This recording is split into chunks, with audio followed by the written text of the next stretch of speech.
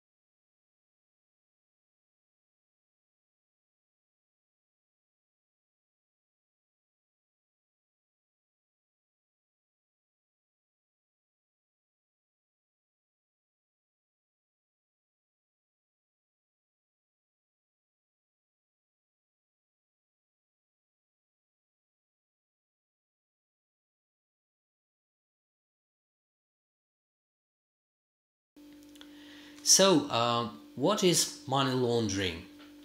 What is money laundering? Just in case if we don't know exactly what it is, uh, I will guide you uh, carefully into the understanding of this term. So, um, let us first look at the origin of the term, uh, how exactly this term appeared as you will later know, the exact name of the offense is the legalization of uh, illegally obtained property. Uh, but all the while we are calling today, it's mostly as money laundering for the, for the sake of brevity and uh, for the sake of understanding. Um, so the term actually gets its origin in the beginning of 20s of the previous century with the uh, advent of the notorious uh, criminal head of uh, mafia um, in Chicago uh, at that time, uh, legendary Al Capone. Al Capone was uh, deriving his assets and wealth in an illegal way, and he wasn't very even um, he wasn't even trying to hide his uh, criminal status.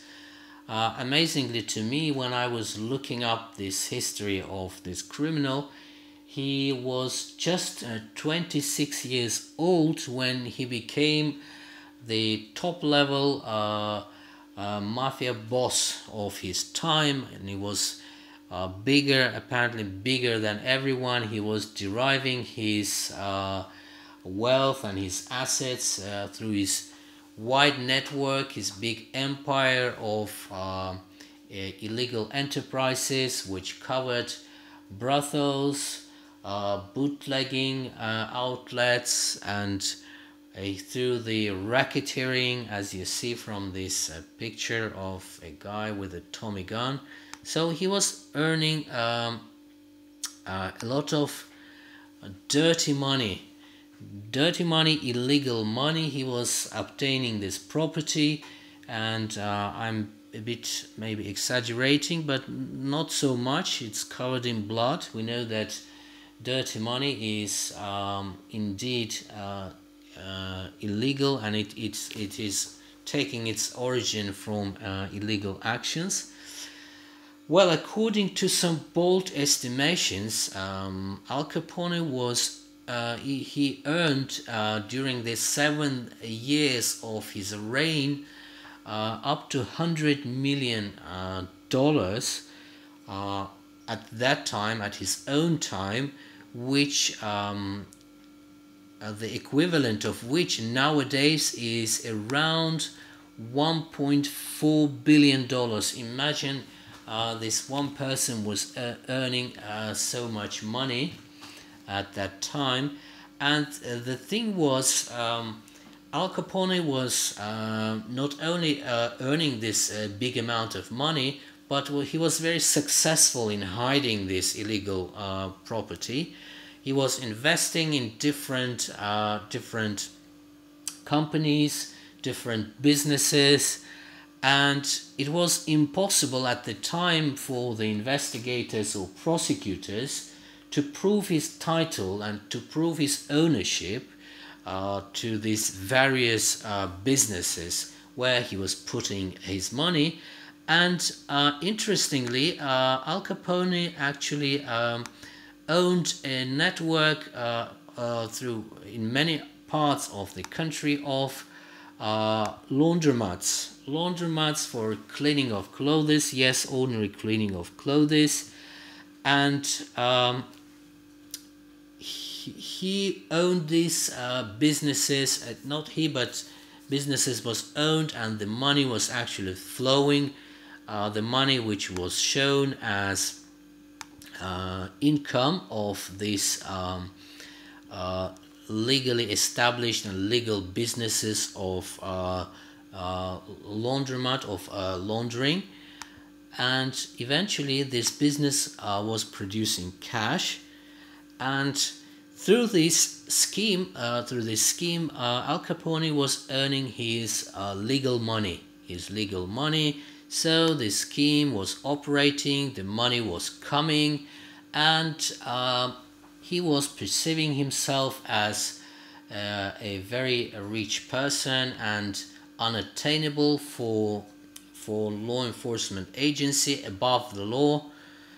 Uh, but just after seven years of his reign eventually uh, Al Capone was prosecuted uh, and uh, convicted.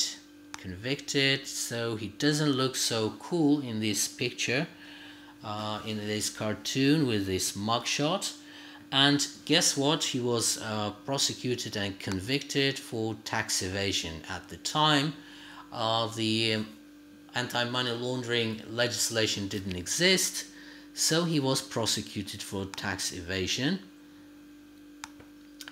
Uh, um, let us look uh, what is it about. I will try to explain to you what the money laundering is.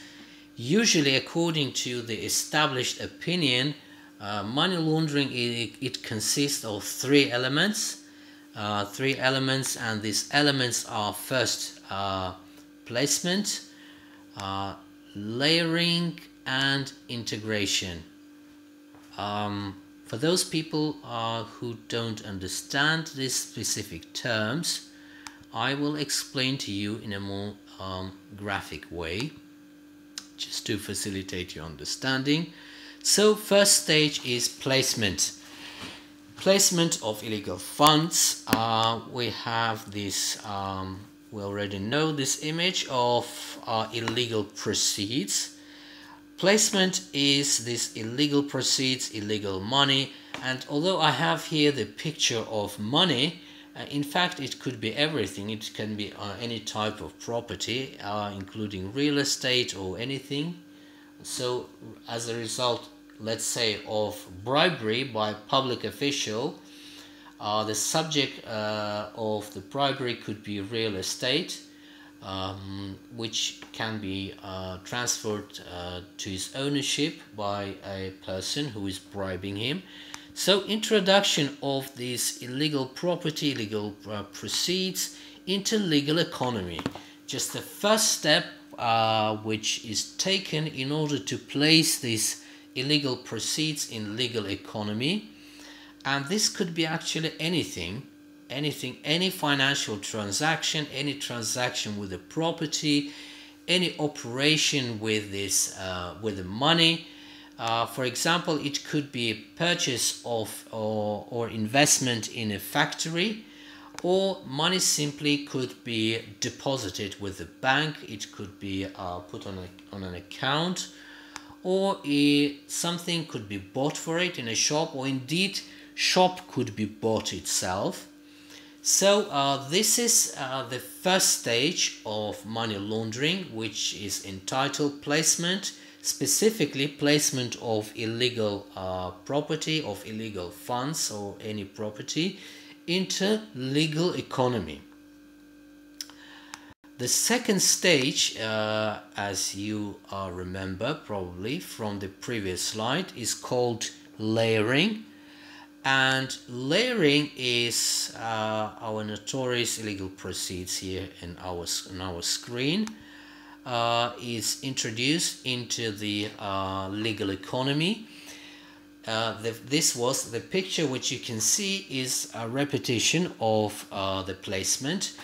Uh, layering actually is about further distancing of uh, this illegal proceeds from its original sources. So as we can see, it can be a don't take my uh, these pictures as a pattern it could be it could take different forms and different patterns so it could be turned further into real estate um, after uh, for example a selling of a factory it could be turned or or restructuring factory and turning it into the uh, into the uh, demolishing and building luxury apartments or investment in stock market or indeed uh, turning it into bitcoins right into um, um, electronic currency so uh, the more the more operations are taken uh, the more sophisticated it gets uh, the second stage of uh, money laundering which is called layering so it's actually already within the uh, legal economy. The money, uh, the property is making its further move to further distance from the illegal origin, but that doesn't change the essence, of course, that doesn't change the nature. Uh, illegal money remains illegal no matter what, uh, and it's a task of uh, the law enforcement and judiciary to make sure that it cannot be hidden through different types of vehicles, whether financial or uh, business vehicles. So as we can see, the third stage, the pictures from the previous file of a slide related to um, uh, layering. Money further uh, makes another move, another step is taken, and finally it takes the form of uh, what appears to be a legal property, right?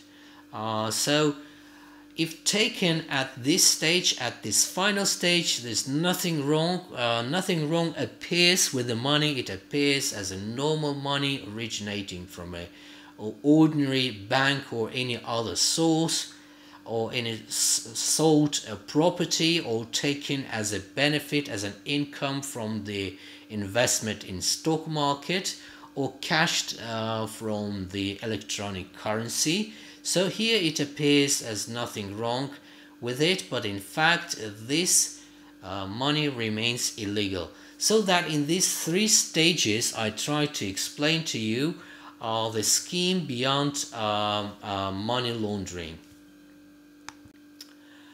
Um, what is the rationale? What is the rationale um, beyond uh, fighting this money laundering, beyond taking anti money laundering measures. Um, the rationale beyond it is, first of all, as you can see, uh, depriving of benefits, depriving of criminal of the benefits of a crime after commission of any corruption offense. Uh, criminals, corrupted public officials, typical uh, perpetrators in corruption offenses, they are gaining uh, illegal uh, benefits. And um, the purpose uh, is to de- deprive uh, to deprive the, the corrupted public official of the subject matter of a rationale beyond corruption offense and that's a good uh, measure to stop corruption offenses the second one is through the punishment through actual tracing uh, identification and uh, seizure of this property of this money laundering offense uh, of the property of money, uh, the uh, authorities, the state authorities, they are demotivating um, corrupted people from committing this offense. So, if the cases are investigated and prosecuted, and people are con- getting conviction for their uh, for money laundering offenses, they will think uh, twice before committing any sort of uh, these actions. Next one is protecting the integrity of financial institutions. The problem is uh, that uh, despite many uh, safeguards which exist nowadays in financial institutions such as banks or non-bank financial uh, institutions, in the area of recruiting um, uh, scrupulous and uh, law abiding personnel, there could be some uh, people who are prone to committing offense and engaging in this type of uh, offenses. Uh, on the other hand, uh, they might not be sufficiently informed and they may be weak. They may be weak and prone to the money laundering offenses. So, prosecuting, investigating, and prosecuting this type of offense, it certainly uh, adds to the protection of integrity of financial institutions.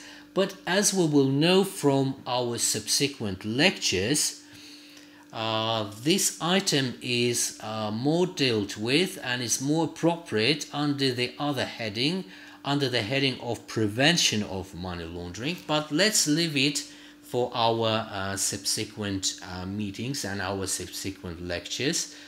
Uh, the next rationale beyond anti-money laundering measures it's emanating from the previous item and it's about securing smooth operation of international financial system. You know uh, most probably that nowadays banks and financial institutions of uh, countries around the world they are strongly uh, interrelated. They have strong ties. They cooperate with each other on a very intensive basis so it's actually these uh, financial um, institutions are operating within uh, we may say that they operate within one financial system and elimination of such illegal uh, encroachments upon this financial system certainly contribute to securing smooth operation of this system.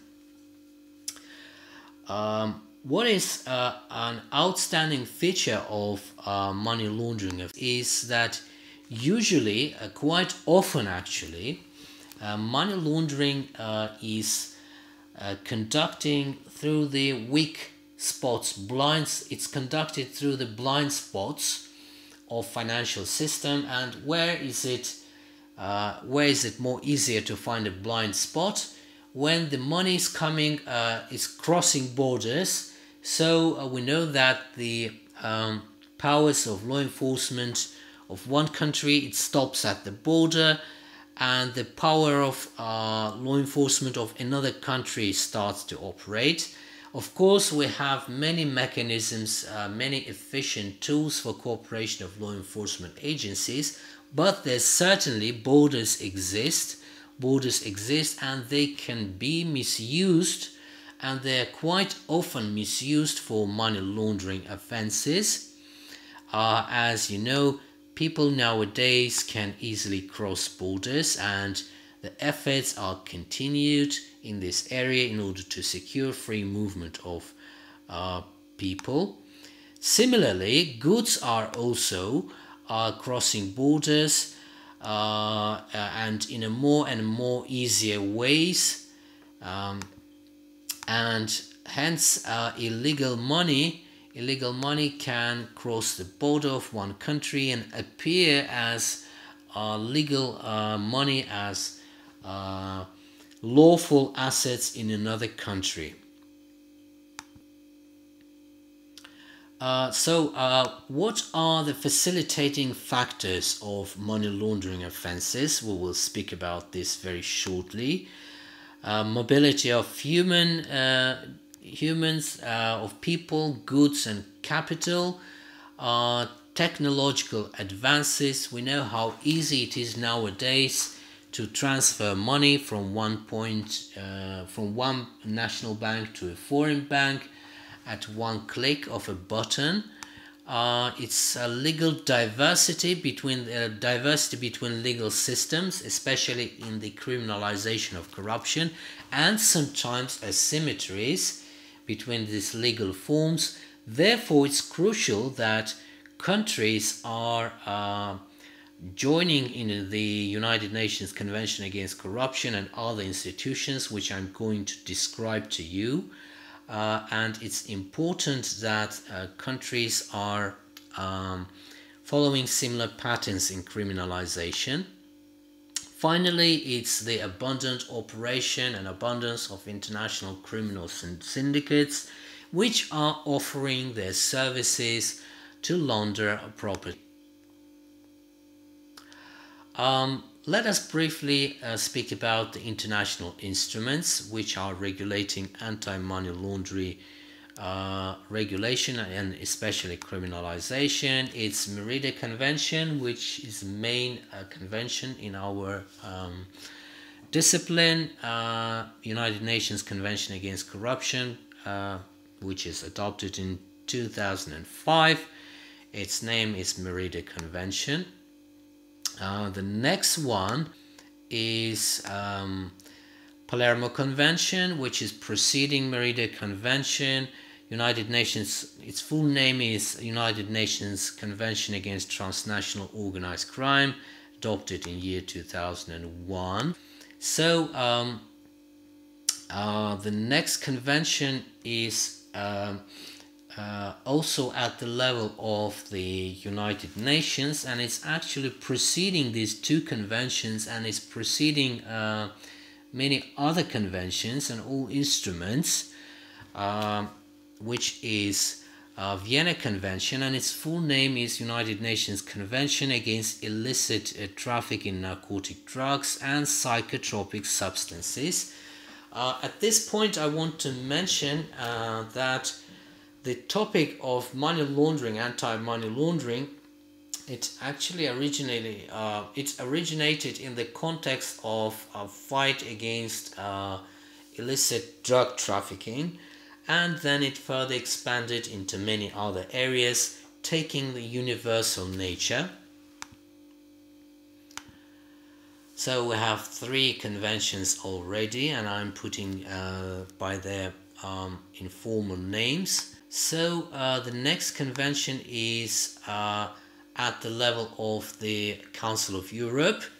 It's called Strasbourg Convention, and the full name is Convention on Laundering, Search, seizure uh, and confiscation of the proceeds from crime adopted in year 1990 as early as you see it uh, this convention is still good and it has many uh, many member countries um, I should tell that uh, this convention was um, subsequently um, revisited and revised and uh, upgraded, if we may call it that way. It was upgraded by the Warsaw Convention, which is entitled as Council of Europe Convention on Laundering, Search, Seizure and Confiscation of the Proceeds from Crime and on the Financing of Terrorism, uh, in, adopted in 2005.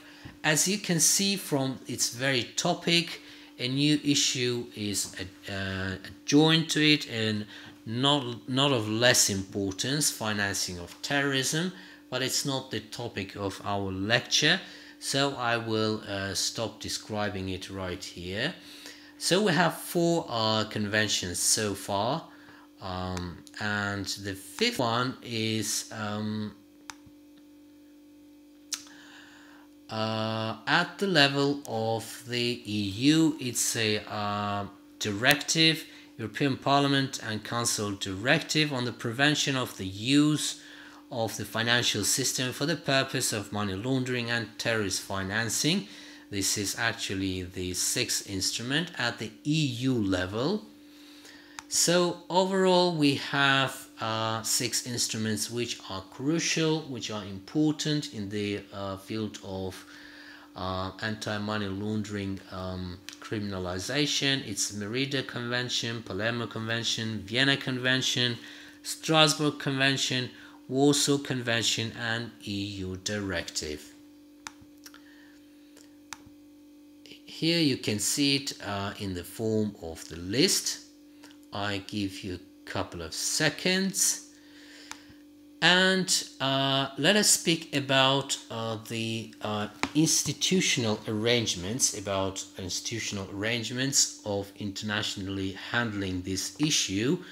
I will not go into depth just an introduction just an idea that uh, money laundering uh, due to the specific nature I told you that financial institutions around the world they are operating in a kind of um, uh, one big network of international financial system. Therefore fight against money laundering it cannot be uh, performed only at national level. It has to be done at international level and therefore uh, the international system adjusted accordingly. So uh, it's composed of several elements uh, one of the elements is um, one of the participants, stakeholders in this process um, is uh, international regulators, international regulators in different areas of financial activities. As an example, I can mention to you the Basel Committee on Banking Supervision, which is uh, setting standards in the field of uh, operation of banks Another one mentioned in the screen is uh, International Association for Insurance Supervisors and other uh, other specialized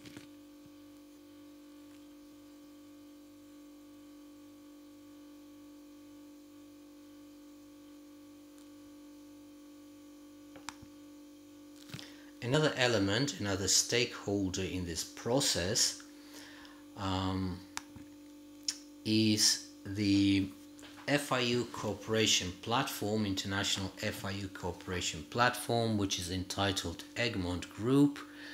And Egmont Group is a kind of a hub, hub which is uh, facilitating and ensuring cooperation between financial institution, financial um, intelligence institutions and financial intelligence institutions. We will be speaking about them in more details uh, under other heading of prevention, but they are the primary institutions, primary um, agencies which are fighting against uh, money laundering offense, offenses. Um, Egmont Group is a sort of club of these financial uh, intelligence units national financial intelligence units and once they comply with the requirements set by the Egmont Group, they are qualified to join its uh, network and to join its um, uh, channels of cooperation. and the next one which I'm going to men mention to you briefly is a huge international initiative and huge international standard setting mechanism which is entitled Financial Action Task Force or shortly FATF. FATF is a mechanism for setting standards and recommendations uh, for the all the operators in this field in the field of um, uh, prevention and uh, prosecution of uh, money laundering as well as uh, dealing with the uh, assets obtained as a result of money laundering offenses. Uh, Financial Action Task Force is operating by itself and also through regional instruments, regional instruments which are ensuring uh, this implementation of the standards uh, by countries. And among the regional forums, you can see here MONEYVAL which is a specialized institution operating under the Council of Europe for the uh, countries of the members of, of the Council of Europe, and Azerbaijan is actually subject to this evaluation mechanism. Laundering uh, at in, uh, under the heading of criminalization is also very closely related with other topics which I'm not going to, to uh, talk about during this lecture but I'll just briefly mention it to you. These are proliferation of um, of um, nuclear substances uh, and um, uh, terrorism financing, which I already mentioned to you. Let us uh, switch to the money laundering offense. Uh, finally, after this long introduction, we'll go into the specific points. Uh, first, I will speak to you about the UNCAC requirements and specific concepts which we need to bear in mind. First of them is a predicate offense, which is any offense as a result of which proceeds have been generated that may become uh, the subject of an offense as defined in Article 23 of this convention dedicated to money laundering. This is this definition is taken from the convention. So uh, whichever offense is generating illegal income, which further uh, is used for money laundering offense, it is considered predicate offense. It could be anything it could be murder with the purpose of getting property of the deceased person, murdered person. It could be drug trafficking. It could be human trafficking. It could be corruption offenses, including bribery, embezzlement. Uh, so this could be a predicate offense. The United Nations Convention it require that uh, that as wide a range of crimes uh, be considered as predicate offenses in the list, uh, it requires that offenses uh, covered by the UNCAC be considered as predicate offenses. Um, in Azerbaijan, um, uh, according to Azerbaijan legislation, all offenses which generate income or profit are considered predicate offenses. It's important to uh, speak here to mention um, the issue of um, knowledge, the concept of knowledge, uh, which is mentioned that at the time of commission that property proceeds from crime. And here uh, I shall remind you the provision of uh, Article 28 of the UNCAC according to which knowledge, intent or purpose required uh, as an element of an offense be established in accordance with this convention may be inferred from objective factual circumstances. So, what United Nations Convention Against Corruption requires uh, is that um, countries provide for a procedural mechanism whereby knowledge is not extracted directly from a perpetrator in the form of his confession but it could be actually deducted it could be uh, taken from the objective uh, circumstances of a case from other factors.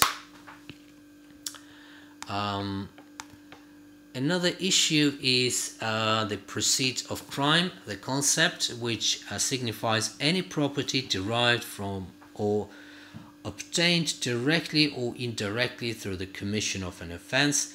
Important issue here, uh, which I want to draw your attention, is that not only directly but indirectly it uh, shall be considered as proceeds of crime. Let me give you an example. If um, a public official is taking bribe and then purchasing some sort of factory and or is purchasing some stocks then these stocks or factories increase in value due to some economic reasons.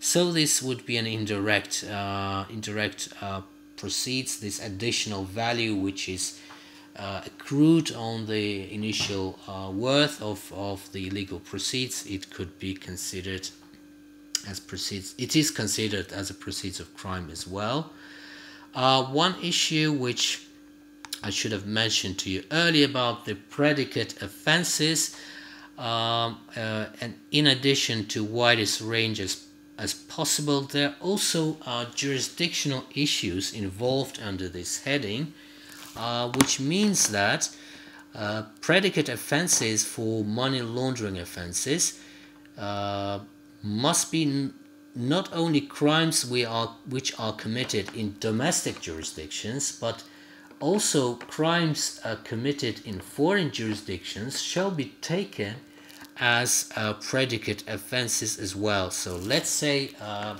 perpetrator is um, engaged in illicit drug trafficking in one country and then he's sending money to uh, another foreign jurisdiction. In that case, that foreign jurisdiction shall take this uh, predicate offense of illicit drug trafficking uh, as uh, as a predicate offense for the purposes of dealing with this uh, dealing i.e. investigating and prosecuting and convicting for um, uh, money laundering in its own jurisdiction in this foreign jurisdiction here one important issue which needs to be uh, stressed is that the rule of dual criminality applies here i.e. Uh, an offense committed in a foreign jurisdiction shall be considered as a predicate offense if uh, that offense in foreign jurisdiction if, if committed in uh, this in in in uh, the juris, in uh, domestic jurisdiction if this foreign offense is committed uh, in a domestic jurisdiction if it it would be uh, if it's considered as a crime then it is it will be taken as a uh, predicate offense. So as I told you, uh, in an example, if uh, crime is take is happening in jurisdiction A, and then assets from it uh, are transferred to jurisdiction B.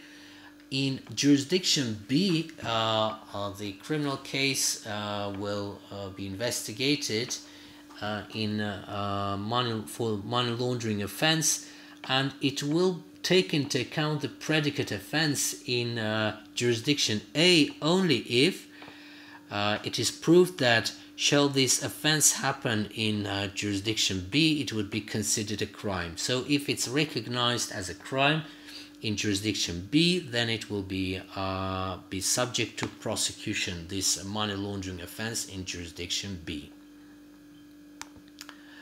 Um,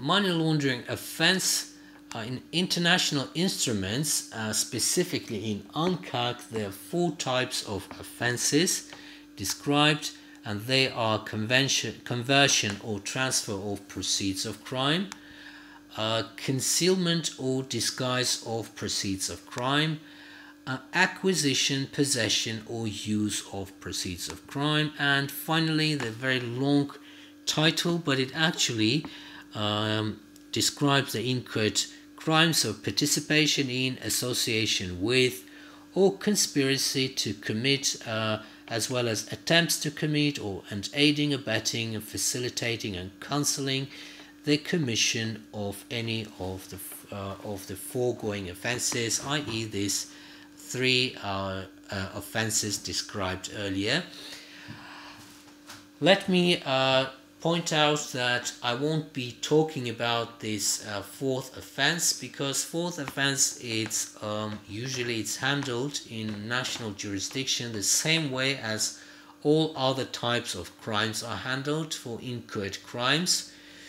Uh, the same uh, type of arrangement usually applies, the same type of uh, sections, articles and legal norms apply for the for these offenses. Whatever applies for the other uh, offenses applies also for the money laundering offenses.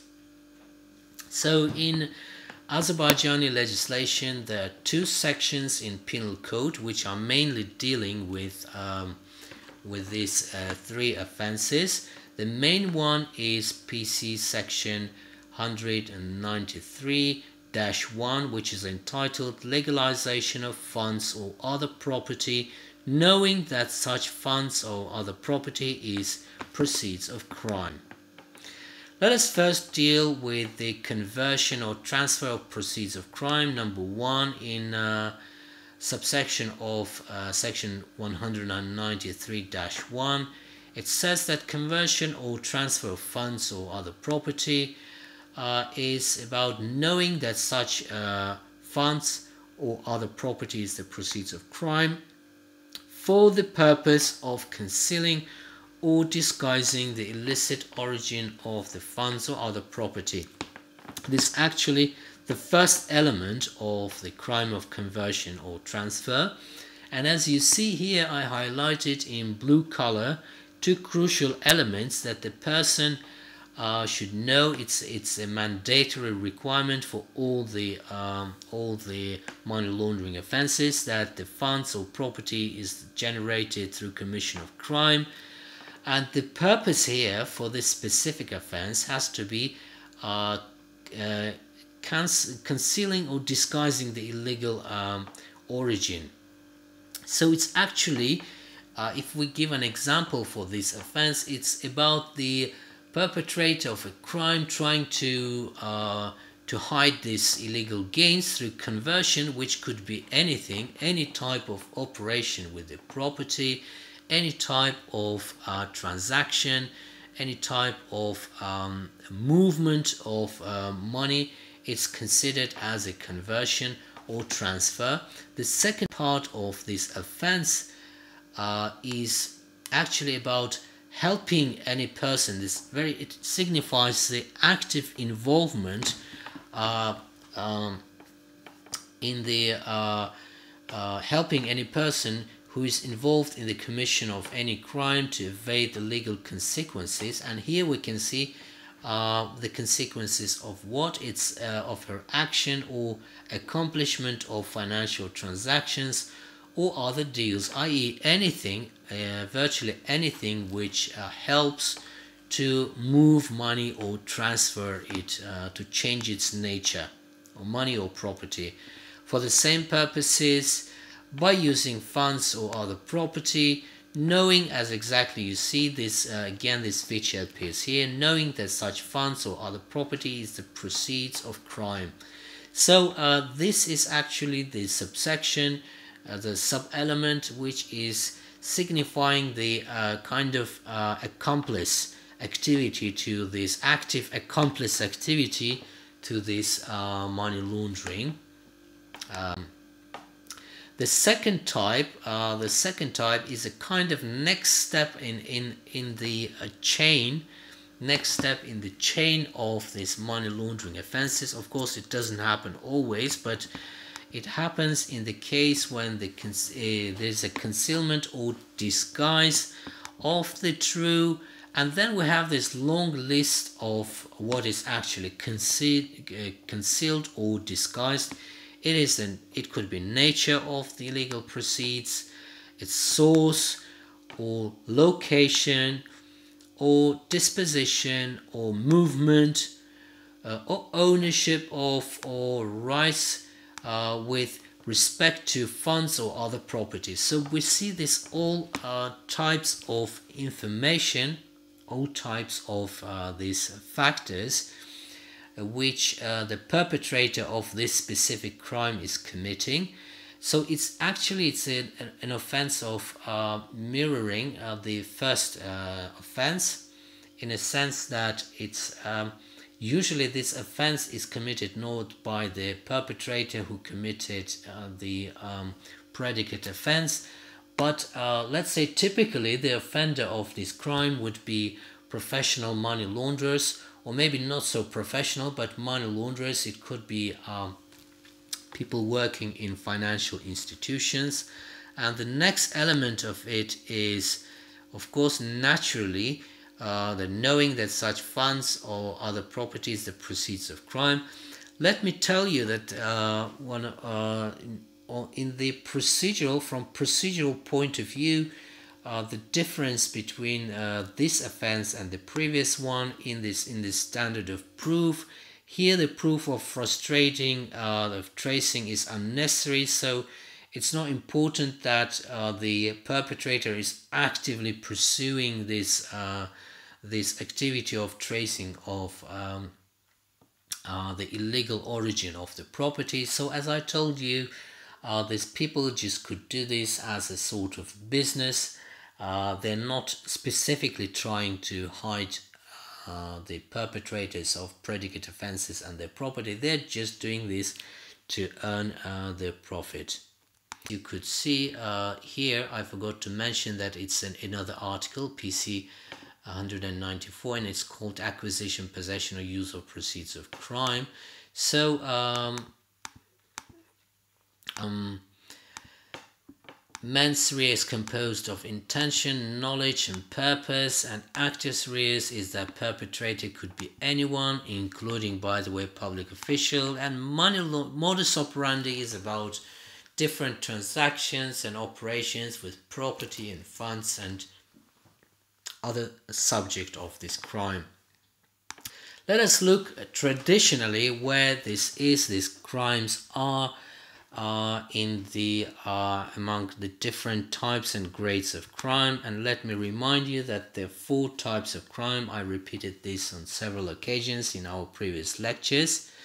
The four types of crime of uh, crimes of not big public danger less serious crimes serious crimes and especially serious crimes which are mostly differentiated by the number of years uh, of imprisonment uh, provided as sanction for this for the perpetration of these offenses.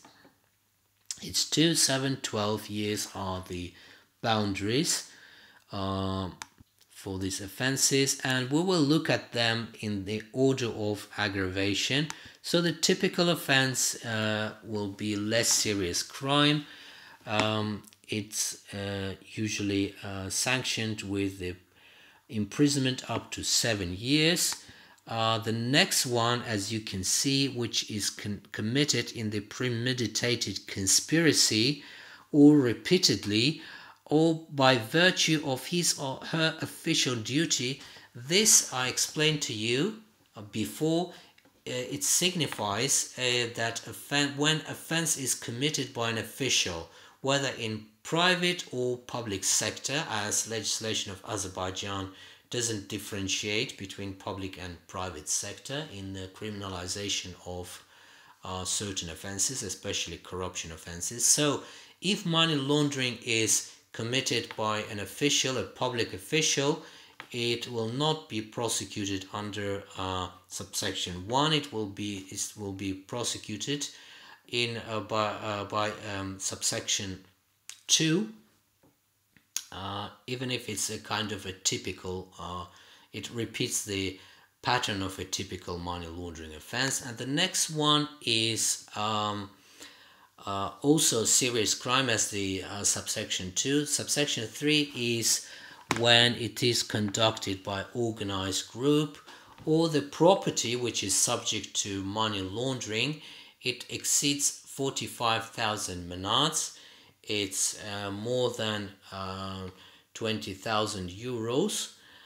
So if the property is more than 20,000 euros or, or, if this offense is committed by ring of organized criminal official or uh, criminal uh, organized crime groups, um, in that case it will be considered serious crime which is sanctioned with imprisonment up to 12 years. Of course there's a difference between these two and under subsection 2 uh, the punishment is uh, less stringent uh, so this offense is um, classified in uh, three grades finally uh, this penultimate side is that uh, I will talk to you about the peculiarities of money laundering and its different types. There are not so many, what, what is important is that um, money laundering, according to the requirements of international instruments, shall be established as an autonomous offense. So it shouldn't actually require the conviction for the predicate offense.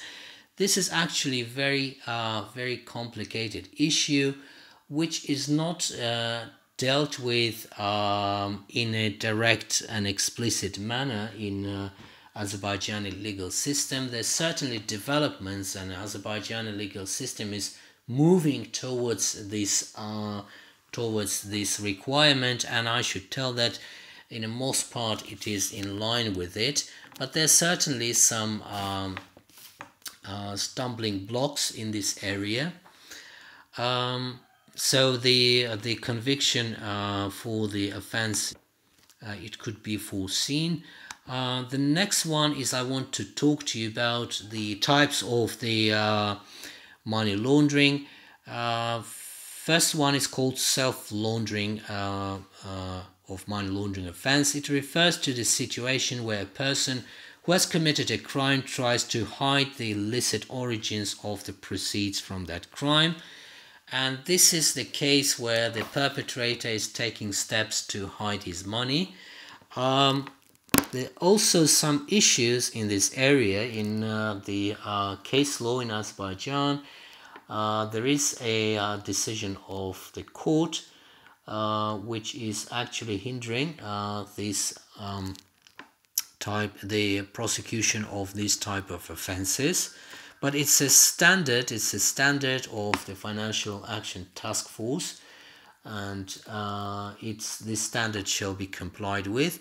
Third party money laundering uh, it's an, is a is when it's laundering of proceeds by a person who is not involved in the commission of the predicate offense.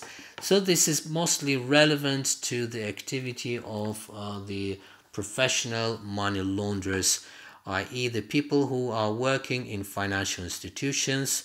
That brings us to the end of the lecture and let me complete this uh, this talk uh, by repeating our slogans guys um, uh, we are uh, hopefully at the end of this difficult situation so please continue to stay at home as uh, long as the uh, the situation requires it. But during this time be optimistic and don't waste your time. Value your time actually. Thank you for your attention.